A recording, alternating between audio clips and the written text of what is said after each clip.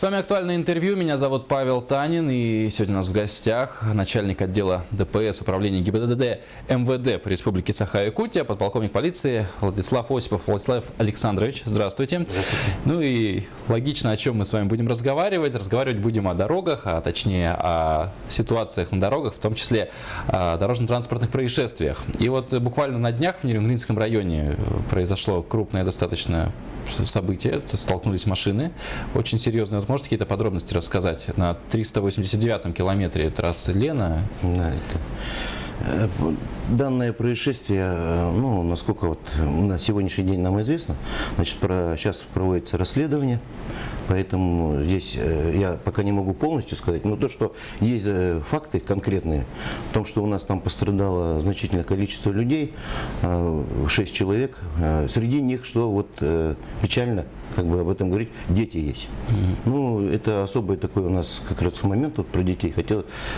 хотелось бы тоже об этом много сказать, да, но э, виной, видите, там можно сказать предварительно, да, вины вот э, данном э, дорожно-транспортном происшествии, это было, я как вот думаю, это все-таки у нас человеческий фактор в основном, да, то есть невнимательность водителей, незнание, неправильное использование э, и понятие вот ситуации метеорологической, вот, дорожной ситуации, то есть люди Возможно, люди торопятся у нас, ну, жизнь такая у нас бурная, все угу, понимаете.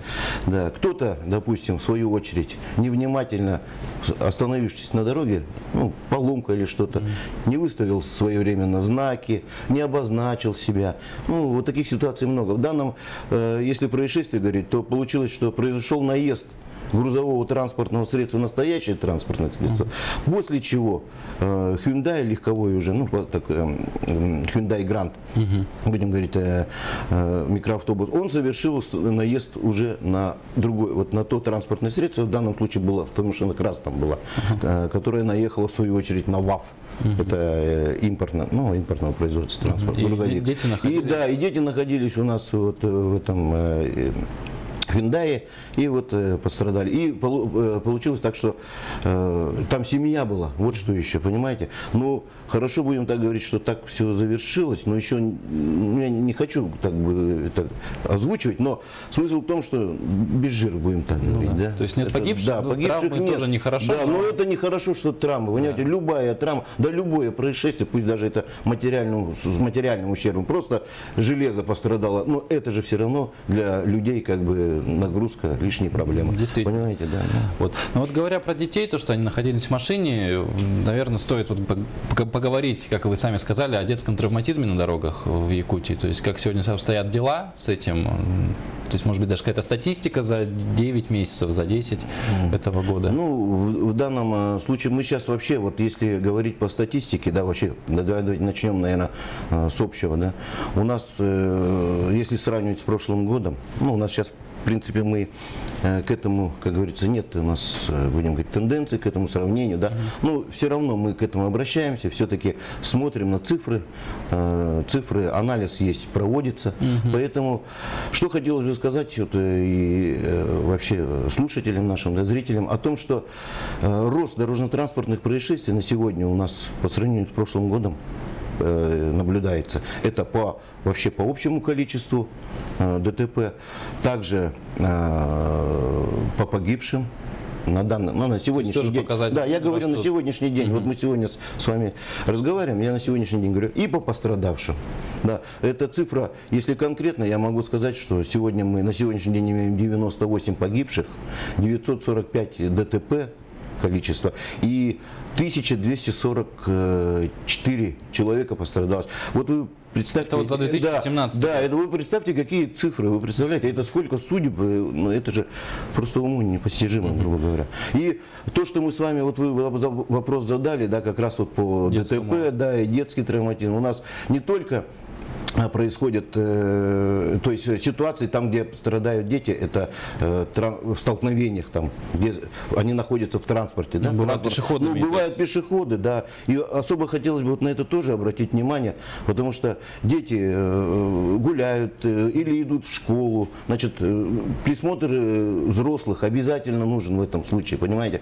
Очень много ситуаций, когда водители сами невнимательно, угу. на, не предоставляют преимущество пешеходам пешеходу. И не только ребенку, а ну, взрослым. Ну, идет. говоря вот про преимущество пешехода, то есть, ну, я не знаю, сможете ли ответить или нет, если нет, ну, продолжим. Да, если да, то было бы неплохо услышать. А, то есть, когда совершается наезд на пешехода, да, либо водитель не предоставил право законное пешеходу, э, так сказать, приоритет, либо же все-таки пешеход в неположенном месте перешел дорогу. То есть, каких случаев больше, когда водитель не предоставляет, водитель виноват, или когда пешеход неправильно переходит?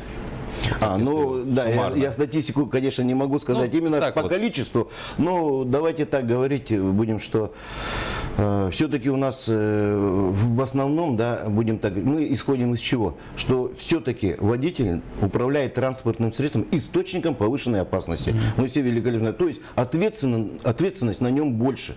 Даже будучи виноват пешеход, не виноват, переходил ли он в установленном, не установленном месте, все-таки э, ответственность на водителя очень большая.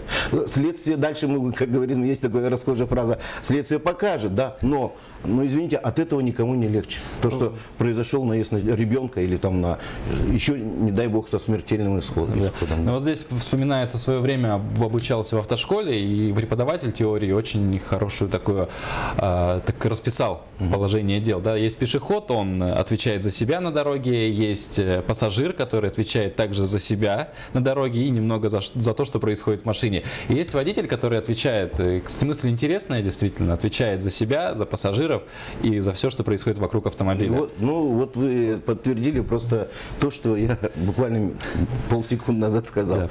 Ну, ответственность большая на водителя. Ответственность большая. Да. И вот хотелось бы, знаете, тут как раз и говорить о том, что э, мало того, что это взаимоотношения участников дорожного движения, да, но э, оно обусловлено еще чем? А, теми же погодными условиями. Мы э, сегодня вот э, собрались, э, я так понимаю, ну вот этот разговор наш связан все-таки с тем, что сегодня зима. Да, туманы. Все-таки, да, туманы, гололед, скользкость, заснеженность. Да. Значит, вот вот водитель, как, как раз водитель-то и должен учитывать вот все, эти, вот эти факты. Хар... конечно, факты, характеристики, а, обязательно. А, а вот говоря про взаимоотношения э, на дороге, да, вот, э, не знаю, сравнивать, не сравнивать, э, считается, что все-таки у нас не очень культурные водители в плане вождения самого, не то, что там, как люди сами, а вот именно в плане вождения у нас с культурой на дорогах все очень плохо. Опять же, сравнить с другими городами, то есть так ли это, и что с этим можно делать? Ну, если, если говорить вот по собственному опыту, да, я я вот по России езжу, допустим, да, когда в отпуске бываю, э, я езжу на машине, беру машину в прокат, ну, очень хорошая штука. Но я обратил внимание действительно, что действительно у нас на сегодняшний день здесь, в Якутии, да, э, культуры, культуры взаимоотношения водителя и пешехода, даже вот этот два участника дорожного движения. Я про пассажиров не говорю. Хотя они по закону тоже э, участники, да, участники и ответственность у них есть, предусмотрена за их нарушение правил дорожного движения. Э, действительно, у нас вот э, что-то происходит. Я, знаете, вот много тоже, может быть, все-таки это связано с нашим менталитетом, с нашими условиями нашей жизни. Вот простой пример. Я уже неоднократно об этом говорил.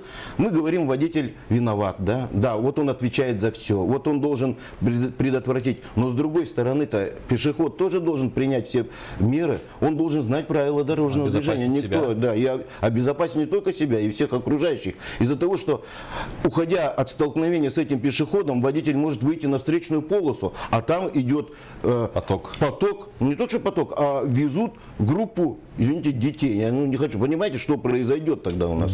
Вот это, это очень много ответственности на пешеходе тоже. Mm-hmm. Особенно в зимний период. Что у нас делают? Наушники вставили, Э, шапку натянули, капюшон затянули и все. И смотрят на светофор. Музыка в ушах играет, э, смотрит на светофор, загорелся зеленый, шаг вперед и пошел. Не посмотрев налево, у нас в школе учат с детских лет, с детсада. Мы этим занимаемся, госавтоинспекция занимается, пропаганда наша. О том, что посмотри налево, Лево, посмотри направо. направо. Нету. Все равно происходит то, что мы имеем на сегодняшний день. Не смотрит, шаг сделал вперед, но транспортное средство заканчивает пешеходный э, проезд перекрестка ошибка. Ну вот- Что может водитель сделать? Вот, Ну да, если, если тоже. Да. завершающий маневр, Да. но есть же случаи, когда вот на красный проезжают. Ну и, и- ну, такие ситуации, если это будет доказано в ходе расследования административного или там следствия уголовного рассмотрения дела. Ну, кстати, возвращая, под- подводя итог именно про культуру вождения, вот тоже личный опыт вождения. То есть, может быть, все-таки от мало, малоопытности водителей в Якутске такое бескультурие, потому что я ездил в другом городе и вот чувствовал себя всегда, считал, что вот у нас бескультурно возят в Якутске, да, так не- неуважительно относятся друг к другу водители, и сам как-то вот стал этим заниматься в другом городе. Э, Знаете, вот опять-таки, да, я вот, знаете, хочу сказать, все-таки то место, в котором э, человек живет, в котором он водит, очень много влияет. Я вот говорю еще раз по собственному скажу вам, да. Почему? Потому что если говорить о том, что как учат, да, я не хотел бы сейчас прямо, ну, поддаваться подробности, просто э, в свое время когда-то я преподавал тоже в школе, да, и э, были э, ученики, курсанты, я бы не сказал, что они плохо изучают. Очень, довольно-таки хорошо изучают правила, штудируют. Особенно женщины у нас автоматически штудируют. Они Ну, очень хорошо сдают экзамены. учат хорошо. А вот Владислав практика вождения, да, практика вождения уже. Буквально две минутки Ну, остается. Знаете, вот э, можно, да, я вот воспользуюсь? Да, быстро? конечно, вот. Вот. у меня хотелось, хотел бы обратиться к участникам дорожного движения. У нас э, на сегодняшний день э, зима все-таки на дворе, э, снег, гололед, о том, что мы говорили, метеорологические сложные условия. Поэтому просьба водителей быть внимательными. Вот то, что у нас сейчас творится, последнее ДТП было буквально вот вчера со смертельным исходом. Тоже, э, ну, сейчас следствие проводится, женщина погибла, шесть человек пострадали. Это к чему? Я о чем хочу сказать, что будьте внимательны. Э, Не надо рисковать э, своей жизнью, при- том э, теми, кто у вас, как говорится, в вашей ответственности, ваши пассажиры сидят. Ну и также хотелось сказать, что праздники скоро да, подходят. Э, Хотелось бы поздравить, может быть, хоть и рано, но все-таки поздравить и предупредить, что вот сейчас начнутся мероприятия, посвященные всем вот этим э, новогодним. Водители будут приезжать в центральные районы. Это не только в Якутск, а большие населенные пункты. Не оставляйте транспортные средства без присмотра. Э, Количество угонов, как мы фиксируем каждый год, анализируем, у нас именно растет в этот момент, когда водители бросают транспортные средства с ключами, не бросать, вот прошу. И как говорится, тогда все будет нормально. Заведенный двигатель также провоцирует что? Угнать машину любого, я не говорю конкретного гонщика, а любого, кто хочет просто погреться там, находясь в каком-то неадекватном состоянии, будем так говорить. Но э, на самом деле еще стоит, наверное, о главном сказать, о чем мы не сказали, то, что не садитесь никогда в нетрезвом состоянии за руль. Об этом мы почему-то сегодня не упомянули. Но вот под конец. э, Мы, к сожалению, наше эфирное время подошло к концу. Я напомню, что в гостях у нас сегодня был начальник отдела ДПС управления ГИБДД МВД по республике, подполковник полиции Владислав Осипов. До встречи.